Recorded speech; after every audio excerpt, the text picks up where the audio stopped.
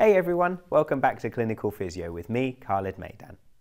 In this video, you're going to see either myself or my colleague Phil taking you through a real-time assessment of a particular joint. Now the reason we're doing this video is so you can get a really good appreciation for the order in which you can complete your test. It will make memorizing the actual assessment a lot easier and it will allow you to have more time to think about your findings when you're going through it with your patient. In these videos you may not see as much detail about handling or positioning, but of course you can go through our individual videos, such as knee active range of movement or shoulder passive range of movement, to get as much detail as you need. Alright, so let's get into it. So now we're going to run through an objective assessment of the hip joint. So if you just keep yourself absolutely still, relaxed, we're just going to have a little look at your posture. Just going to put my hands on your hips,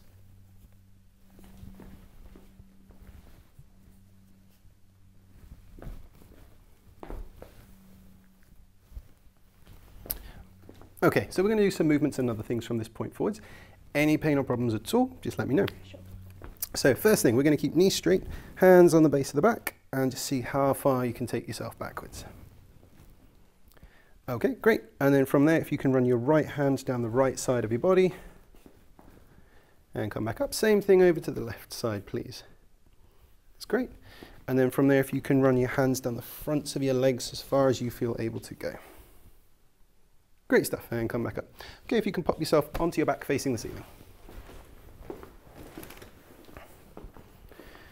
So we're just going to make sure your knees aren't part of the picture. So if we can just get you to bend this knee up. Is that okay? Yeah. And we might as well, for thoroughness, do this one. That okay? Yeah. Okay, try and bring this knee as far up to your chest as you can go. Brilliant. Okay, from there, we're going to just keep you there. Now, are you able to keep your own leg there for me? Okay, keep that there. And keep following your ankle bone round towards my finger. That's it. I'm just going to put a little bit of pressure on. Brilliant. And then if you can come out this way with your ankle bone. Great stuff. And come back down. If you can take this leg out to the side, this direction, as far as you feel able to go. Okay, and we're just going to bring you to here. Perfect. Okay, and I'm just going to lift this leg up for you and hold it there.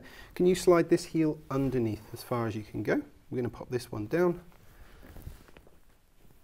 and put a bit of pressure on there. Okay, we're going to do exactly the same thing on the other side, okay? So if you can bring this knee as far up towards your chest as possible. I'm going to put a bit of pressure on. Okay, then if you can hold this position here, just follow my fingers around this way.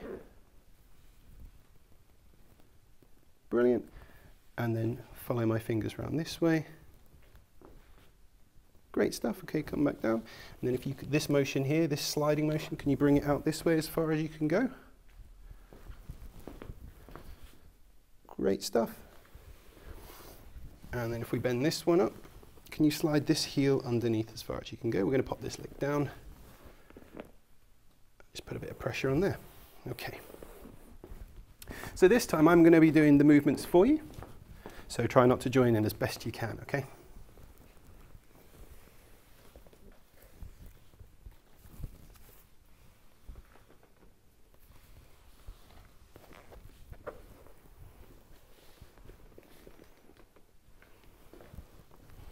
Okay, if we lift this one up.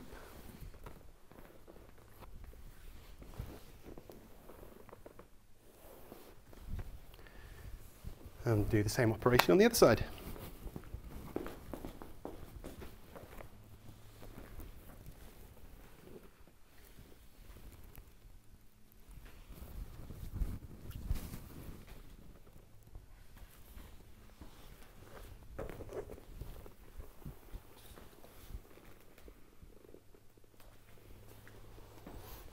Okay, we're going to do this one where we slide under again a bit.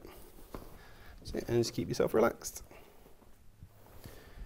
Great stuff.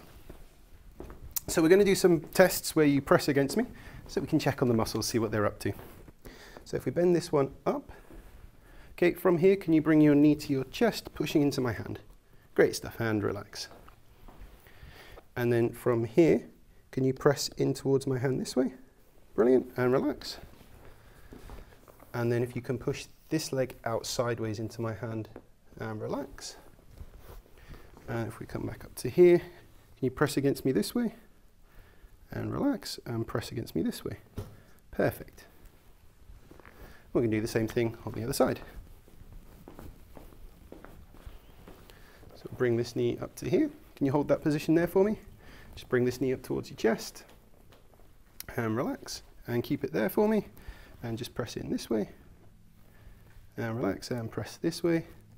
Perfect. And come back down. Okay, don't let me pull this leg out. Perfect.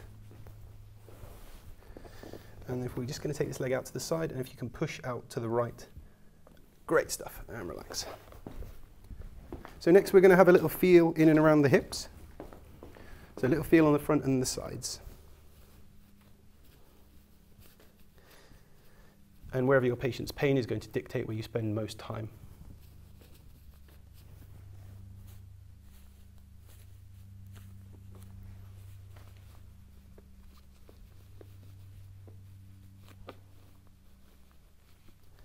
Okay, if we can get you to go onto your front. And then if you can lift this leg up towards the ceiling with your knee straight, please. You okay there? Yeah. Okay, keep that there for me for one second. Great stuff. And then the same with the other leg, please. Brilliant, and relax down. So this time I'm going to do the movement for you.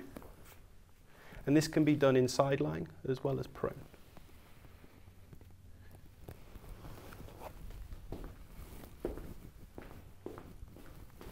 Side lying will be a lot easier, but for the convenience of the run through, we're showing you this way.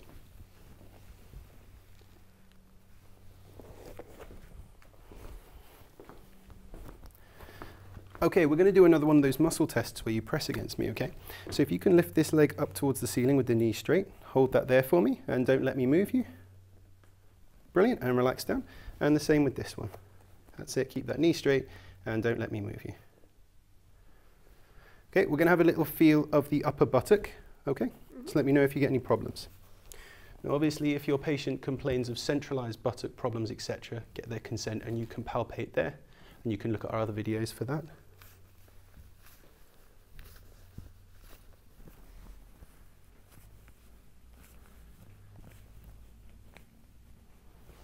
Okay, so that concludes our run-through video. From there, you just need to add in extra special tests, other core stability things, whatever comes up and whatever takes your treatment assessment direction further. And that completes our real-time objective assessment. Once again, I hope that this video has given you a good understanding of the order in which you can complete your tests. If you want more information about the details of each specific test, check out our individual videos. For example, lumbar spine palpation, or ankle resisted tests. Thank you so much for joining us once again on Clinical Physio, and we'll see you soon.